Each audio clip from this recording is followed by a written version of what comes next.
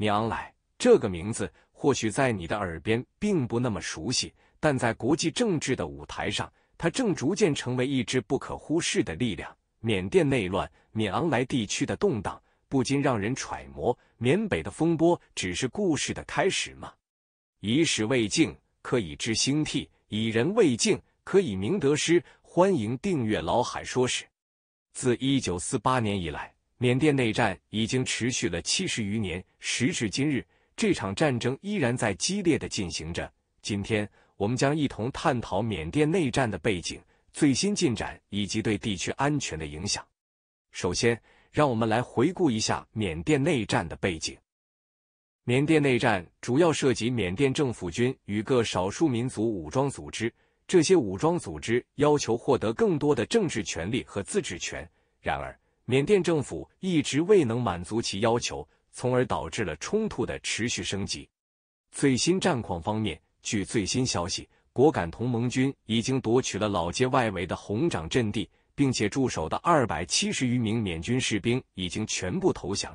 这是果敢同盟军在战争中的一个重要胜利。进一步削弱了缅甸政府军在该地区的势力。此外，由于冲突的不断升级，数百名缅甸政府军士兵逃往印度，而印度对缅甸政府军的支持源于两国的历史渊源和地缘政治利益。然而，这一情况并未改变战局，反而使得缅甸政府军的士气受到了严重影响。尽管中国安排缅甸内战各方在昆明谈判，并达成了临时停火协议。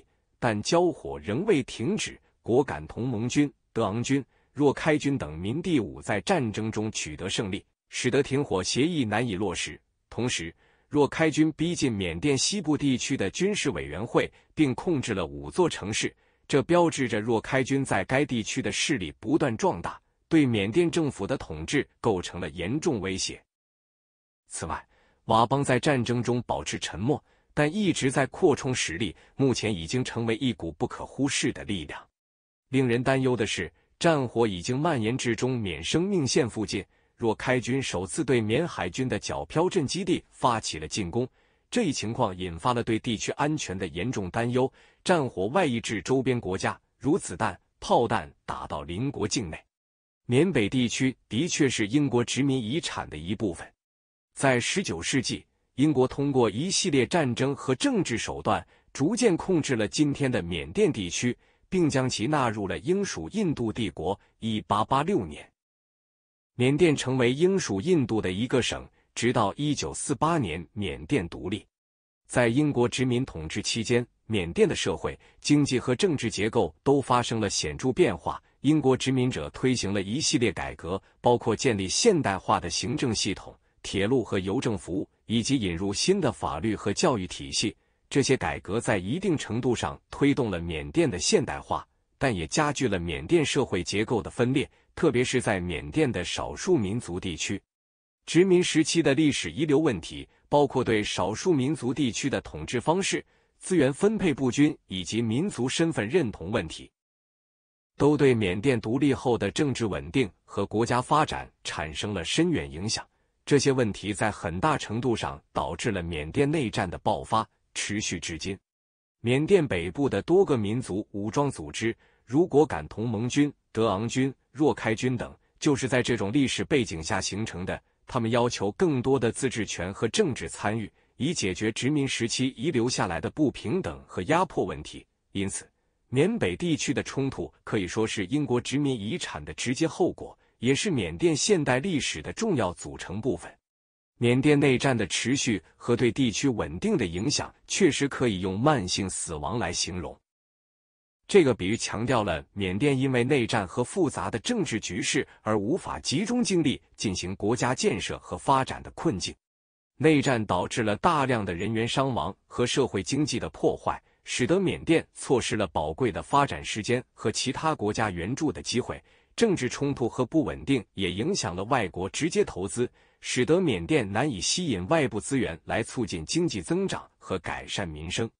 此外，内战还导致了大量难民的产生，不仅给周边国家带来了压力，也使得缅甸在国际社会中的形象受损。这种长期的冲突和困境，就像是一条蛇吞下了不属于它的食物。虽然短期内可能没有立即的致命影响，但随着时间的推移，内战的消耗和外部环境的恶化将逐渐削弱国家的生命力。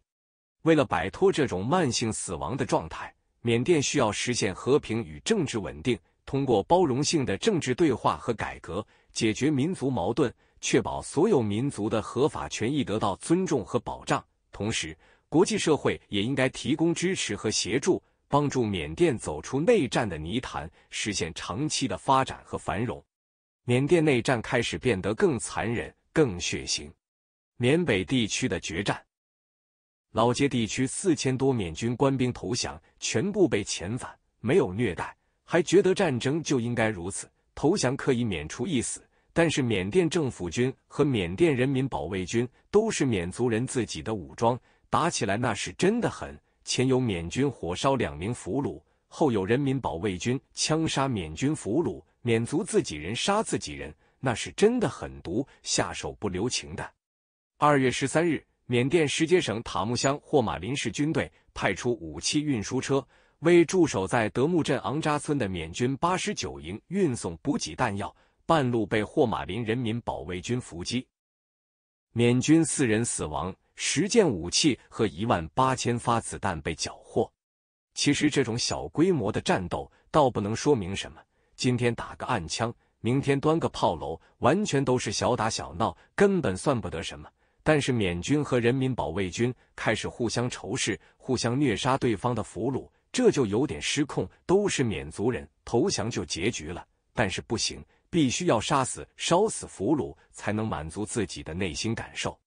缅甸政府军在几十年来一直有杀降的传统，这也是几十家地方武装死活不肯投降的原因。战斗是死，投降也是死，那还不如战斗到底。缅军没有优待俘虏这一说，抓大俘虏就杀，成功的遗传到了人民保卫军的身上。缅甸内战将会变得更加血腥，这是毫无疑问的。要搞清楚缅甸局势的未来，就必须要清楚缅甸政治格局中的最大势力，也就是缅军对未来战事的打算。很多人都以为，缅军作为东南亚仅次于越南的第二大陆军，对付各把民地武装应该是手拿把攥的。而且过去的缅甸内部战争中，缅军也确实优势很大。但是从果敢同盟军、德昂军、若开军等三兄弟发动时，二十七行动后。缅军在缅甸国内各条战线上节节败退，似乎有兵败如山倒的迹象。光在果敢老街就有两千三百多名缅军一次性呈建制投降。缅军怎么了？其实答案很简单：缅军分不出兵力了。缅军一共有三十七万在编军人，王牌机动师则有十个。然而缅军却十分腐败，吃空额现象很严重，也很常见。去掉那些吃空额的部分后。缅军大约就只有十五万人左右的实际兵力了，而且这其中能参加战斗的一线兵员大约只有七万多人。相比而言，缅甸的民地武装虽然单个拉出来都比缅军差了不少，但是由于缅军分布于各条战线对抗不同的民地武装，且交通设施被大量破坏，因此本来规模就不大的缅军只能采取集中防御重点城镇的方式来作战。在实战中，这种战法导致缅军很快会丢失距离城镇较远的乡村地带哨所据点，随后就会被包围在城镇当中。由于缅军后勤保障条件较差，被困的缅军往往无法组织起有效的抵抗，士兵大都没有斗志，巷战并不会特别激烈，缅军往往很快就会投降。这种情况在清水河镇、棒赛镇。滚弄镇、老街县城等城镇的攻防战中十分常见，在克伦尼邦的首府累固也出现了类似情况。